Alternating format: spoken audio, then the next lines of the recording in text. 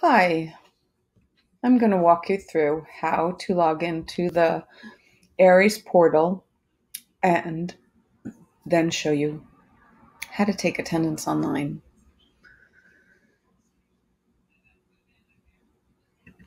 So, the easiest way, if you're logged in to your Chrome browser and you have your NMUSD staff bookmarks, you can drop down and go to the Distance Learning Toolkit. If you haven't checked this resource out, I recommend checking it out now. So, regardless of whether you're elementary or secondary, you can click on either. It'll take you to many of the same resources. And what I'm guiding you to right now is the uh, FAQ for teachers. If you haven't seen this, you should definitely save it, star it, keep it handy because we update it regularly. Now, Aeries is right at the top, starts with an A. And um, right here, you'll notice you can log in. Well, click on how to log in to the portal. So these are very detailed directions that you must follow because this is different than going to whatever you bookmark for Aeries in the past. IT put this together. If you're the type of person that likes to watch a video, this video tutorial walks you through just how to log into the portal. So you do need to go through these steps initially. So you notice the URL is portal.nmusd.us. And we will actually will add that to our bookmarks tab. I'm just going to go back here for a minute because note you want to enter your network email username and password, and click the login button. But if it's your first time logging in, you are going to be prompted just the first time to create challenge responses. Your responses will be used for future self service password resets. So you have a number of choices that you can use to make your um, challenge questions.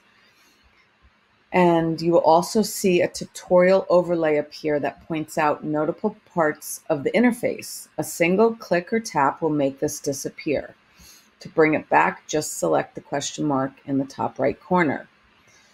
You may also be prompted, this is important, to install the WebPass single sign-on browser extension. Click Install to get the browser-specific instructions on installing the extension. This will come in handy when you want to enable certain applications to log you in automatically. Select Install and install WebPass. Each workspace contains different tiles, each with a name and icon. Selecting a tile will bring you directly to that resource or web application. To add a tile as a favorite, simply right click on it and select Add to your favorites, and so on. Okay, so let's go over to the portal. I'm going to log in.